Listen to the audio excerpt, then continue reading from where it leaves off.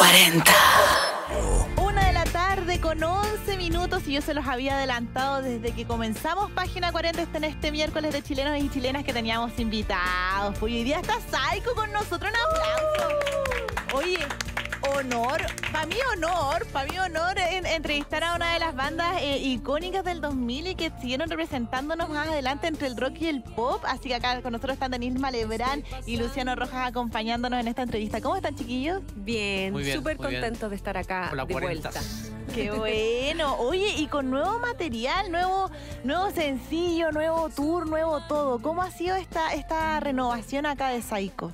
Ha sido un año bien importante para nosotros porque, bueno, nunca hemos parado a sacar música. No, Eh, hemos estado sacando single todos los años, pero es distinto cuando uno ya lo agrupa y le pone nombre, bautiza ya, este disco es esto y estamos ansiosos ya que la gente lo pueda escuchar completito. El próximo viernes lo estrenamos, el disco nuevo, y concentrados en el show del 24 de noviembre, que en realidad es como un poco una tradición que tenemos con Luciano, que todos los años hacemos como un cierre de año en distintos lugares, un concierto donde repasamos lo mejor de lo que hemos hecho en todos estos años y que coincide este año con el lanzamiento del nuevo disco, entonces estamos súper, súper, súper contentos con todo lo que está pasando. Oye, sí, eso les iba a decir porque finalmente eh, la base de fans que tiene Psycho es súper fiel. Y yo creo que también algo bonito que tienen ustedes como banda es que todos los años están continuamente conectándose con quienes los han seguido desde siempre. Eh, ¿Cómo han sentido esto? Porque ustedes también vienen eh, de un momento en que cuando no habían redes sociales, hoy día como que todo lo pueden ver en Instagram, todo es muy rápido, todo es muy flash. Entonces como que esa conexión ha cambiado de alguna forma.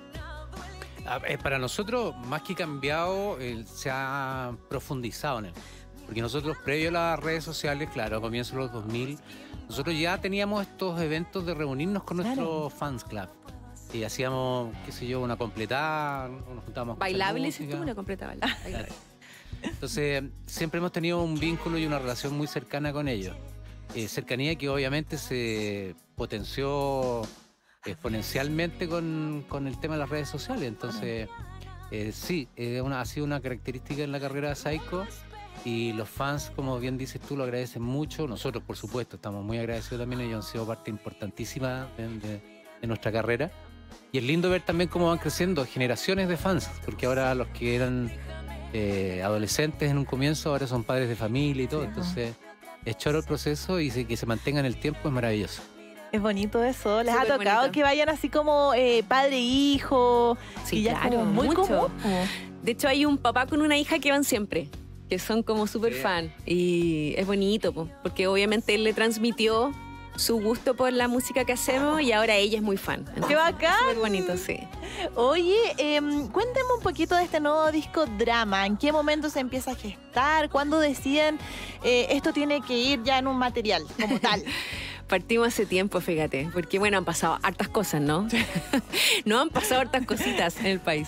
Entonces, como que de alguna manera lo fuimos retrasando, pero partió yo creo que apenas salió el, último disco, como que el 2017 sacamos un disco, el 2018 ya estábamos pensando en nuevo material. Y fuimos como, bueno, eh, asumiendo un poco la realidad que nos azotaba a todos. Hasta que el año pasado dijimos, ya, ok, el disco tenemos que hacerlo el próximo año, porque queríamos de alguna manera también cerrar. Es como al revés que antes. Ahora uno cierra el proceso Sí. con el disco. Es más que parta. Entonces, ya, el 2023 sí o sí eh, logramos concretar la salida del disco con un nombre que ya estaba definido, pero que sin embargo cambió durante este año, fíjate, porque las canciones que van a estar agrupadas en este disco fueron casi las últimas que hicimos. Todo el material que veníamos componiendo de antes lo fuimos como dejando y nos gustó más lo que estábamos haciendo ahora. Así que el disco drama tiene, tiene, tiene finalmente, obviamente, los sencillos que habíamos adelantado, pero también tiene mucho material nuevo. ¿Cómo es el proceso de composición de, de, de Psycho? ¿Cómo se juntan? ¿Cada uno tiene sus ideas? ¿Cambia todo en el estudio? Este, mm, bueno, nosotros tenemos varios años de carrera, entonces Claro. esas metodologías han ido cambiando en el tiempo. Más que cambiando también, evolucionando, en la mejor palabra, digo yo. Este, mm, eh, hemos tenido diferentes eh, fórmulas, pero hoy en día básicamente es como lo hemos como afinado en el tiempo con Denise y todo parte de, de alguna idea en piano, alguna progresión de acordes, alguna progresión de acordes en guitarras. Eh, a veces, de la, la- la menor de las veces, pero sí ha ocurrido, partimos de una melodía vocal que se le ocurre a Denise Eh, pero básicamente eso es como la pirámide, digamos, de, de técnicas y de fórmulas de composición. Y mm, posteriormente no, la verdad que no va cambiando tanto en el proceso de, de grabación o de producción musical porque, insisto, nosotros ya tenemos una metodología bastante clara que, que hemos, que hemos como desarrollado en el tiempo. Lo que nos da también la oportunidad de poder tener cierta personalidad musical. Entonces, y eso nos, nos, nos da como mucho orgullo poder decir que allá como hay un timbre de con la música que hacemos. A propósito de eso, ustedes son referentes musicales de muchas eh, bandas y solistas de la actualidad. Eh, y me di cuenta que Carla Grunewald iba a estar acompañándolos actualmente. Eh, ¿hay, ¿Hay algunos otros artistas nacionales que les llame la atención recientemente de los últimos cinco años? Porque hay un boom hoy en día que igual es muy bonito ver que todos los sellos, eh, los géneros musicales tienen su representación en Chile. En Chile se hace muy buena música, no lo decimos nosotros porque nosotros somos chilenos, sino que queda claro cuando miramos hacia afuera y ya hay una mirada distinta de lo que es Chile en el mercado mundial, digamos. Hay muchos artistas que les está yendo súper bien y los nuevos talentos a mí siempre me sorprenden porque creo que es difícil hacer música nueva cuando ya hay mucha música hecha, ¿no? Es como Claro. que lo lógico es que se empiezan a repetir, ¿no? Un poco los, los proyectos. Y la verdad es que estamos felices de contar con la Carlita en el lanzamiento. Tenemos otros invitados, pero los vamos a ir revelando a poquito. Uy, ya. Sí, otros más contemporáneos a nuestra edad, pero tenemos varios invitados en- al concierto. Eh, pero la Carlita obviamente nos emociona porque es el, el- el puente, ¿no? Con las nuevas generaciones. Admiramos mucho su trabajo. eh, y bueno, en realidad hay hartos artistas. Yo creo que eh, cada uno en su estilo, siempre hay alguien que a uno le llama la atención. Y nosotros, yo por lo menos soy súper fan de la música chilena. Mi camiseta siempre ha estado del mundo gremial, el por darle el espacio que se merece la música chilena, porque es buena, no porque Sí, y, y porque, bueno, estamos en Chile. Igual es importante eh, decir eso porque yo creo que independiente de que cada uno escucha lo que quiere, nadie le va a obligar a alguien, oye, sobre todo que hoy en día la gente escucha música como en su teléfono, digamos. Claro. Pero es importante darle un espacio porque creo que tenemos cosas que decir en nuestro propio idioma, en, en- en nuestra propia cultura. Y eso es bonito, pues bonito, bonito darle el espacio cuando hay tanto, tanto talento en Chile. Es verdad. Sí. Hoy, el 24 de noviembre, es la fecha en el Teatro Oriente. ¿Dónde podemos encontrar las entradas? ¿Quedan todavía disponibles entradas? Sí. Quedan muy poquitas, ¿cómo se llama? el- Punto ticket. Punto ticket. Están eso. Es súper fácil, mira, vayan a los perfiles de Instagram de nosotros y están arriba como listo, así como que en el fondo la biografía, tú pinches y te vas directo. O en historias destacadas también tenemos los links directos porque en realidad hoy en día buscar en, en la web es más atado que mejor redes Ir sociales. al tiro. Redes sociales, listo. grano, al Está grano. solucionado. Oye, invitar a la gente que va a estar muy, muy entretenido, está muy novedoso, es un, un concierto conceptual, muy multimedial, vamos a tener diferentes expresiones de arte, danza, este, audiovisual, mucha música, por supuesto. Entonces, invitados, villanos invitados de todo tipo. Y va a estar ba- ba- bastante especial, sobre todo para la gente que ya no ha visto antes. eh, Esto es muy diferente a lo que veníamos haciendo. Pero obviamente siendo un, un repaso de toda nuestra carrera, pues vamos a estar tocando temas desde el, el primer disco hasta obviamente el último. por supuesto. Perfecto. Oye, em, a todo esto, ¿qué era de verano? Sí, estamos a ver, bueno, nuestra concentración estaba en sacar el disco, que sale el próximo viernes, ¿ah? para que estén atentos a todas las plataformas digitales. Próximo viernes estreno absoluto del disco Drama.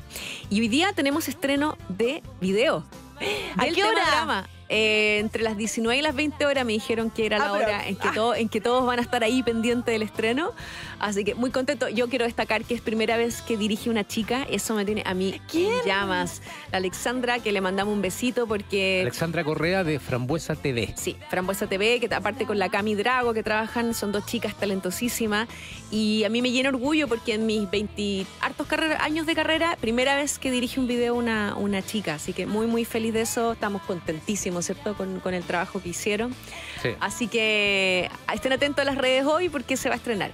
Y bueno, a partir del lanzamiento, obvio, vamos a empezar a, a disparar fechas. Igual hay un festival importante en diciembre que ya estamos confirmados, que es en un festival made in Viña, que es entretenido porque es la Quinta Vergara, como eh, un festival de puras bandas chilenas, artistas chilenos, y hay de todo, ¿ah? Hay desde música urbana a rock.